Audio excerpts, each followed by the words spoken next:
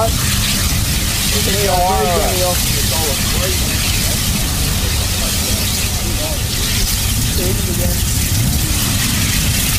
Got a lot of going.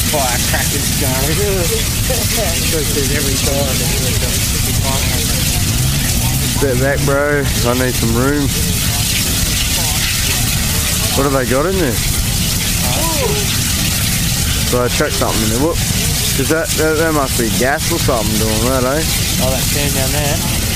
Yeah, that the flame. That's not just burning by itself. In the drum. That's got to be some gas. That's gas. Fuel. Fuel.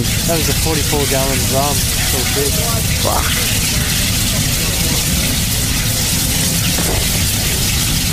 Sonny's got his escape through a fucking bullet hole. There's the saying it's going to go boom again. So what they chuck in there? No, nothing. So it ain't going to go boom. No, he was just talking about his fucking 50 firecrackers.